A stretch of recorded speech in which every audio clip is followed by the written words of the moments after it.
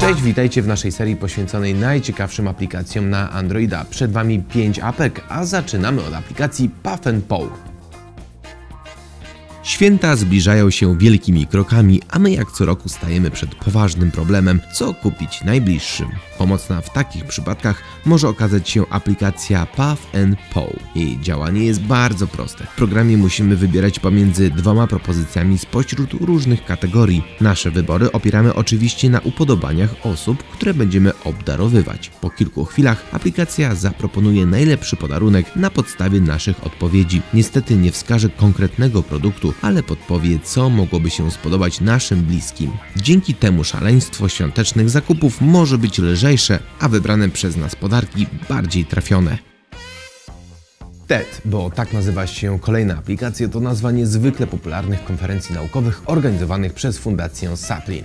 Swoją sławę zawdzięczają niesamowitym gościom, którzy w czasie wystąpień dzielą się z widzami swoją wiedzą i spostrzeżeniami na najróżniejsze tematy, a wszystko to w bardzo przystępnej i czasem rozrywkowej formule. W aplikacji TED znajdziecie ponad 2000 prelekcji opatrzonych polskimi napisami. Będziecie mogli także słuchać podcastów TED Radio Hour. Wykłady z konferencji TED są niesamowicie wciągające, poszerzają horyzonty, wzbogacają wiedzę i pozwalają spojrzeć na różne rzeczy z innej perspektywy a dzięki aplikacji mobilnej będziecie mogli mieć do nich dostęp w każdej chwili.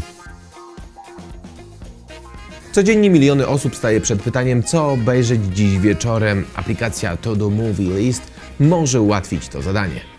Programie znajdziecie listy najpopularniejszych filmów podzielone na różne kategorie i gatunki. Opis każdej z produkcji opatrzony jest krótkim streszczeniem fabuły, oceną, informacjami na temat twórców i obsady, a także trailerem, który można obejrzeć w aplikacji YouTube. Program może służyć także za źródło informacji na temat wydarzeń ze świata filmów oraz nadchodzących premier. Jednak to nie wszystko. W Todo Movie List możecie również stworzyć listy filmów do obejrzenia oraz tych już obejrzanych. Dzięki temu wybranie kandydata na kolejny seans filmowy będzie jeszcze łatwiejszy.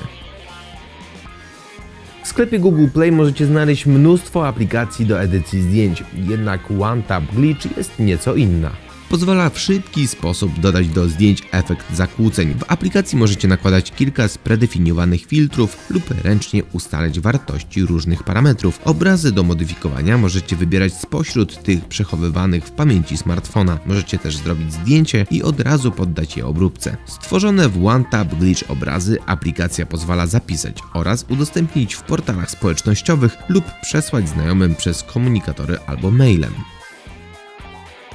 Przyszedł czas na ostatnią aplikację od naszego widza. Dziś kubek zgarnia Oni-chan. Mam nadzieję, że mieszkasz w Polsce. Kubeczek idzie do Ciebie, a jeżeli Wy chcecie być właścicielem takiego oto sprzętu do picia na przykład jakichś napojów typu herbata albo kawa, to napiszcie nazwę swojej ulubionej aplikacji w komentarzu pod filmem na YouTubie. Ja zostawiam Was z ostatnią aplikacją Simera. Aplikacji do robienia selfie jest co najmniej tyle ile odcinków pana apki. No dobra, może trochę więcej. Jednak są perełki, nad którymi warto się pochylić i sprawdzić ich funkcję. Dzisiejszą propozycją od naszego widza jest Simera. To moim zdaniem bardzo udana aplikacja, której najważniejszą cechą jest prostota obsługi. Wszystko jest pod palcem, a duże i czytelne ikony jasno opisują podpiętą do nich funkcję. Osobiście najbardziej przypadła mi do gustu możliwość korzystania z artystycznych obiektywów. Fisheye, collage, zdjęcia wertykalne lub horyzontalne to także żaden problem. Dodatkowo po cyknięciu fotki możecie korzystać z mnóstwa efektów upiększających oraz umożliwiających obróbkę zdjęcia i usuwania niedoskonałości. Nie zabrakło naklejek, stempli oraz edytorów memów. Jednym słowem, w tej aplikacji znajdziecie wszystko co najważniejsze do strzelania selfiaczów.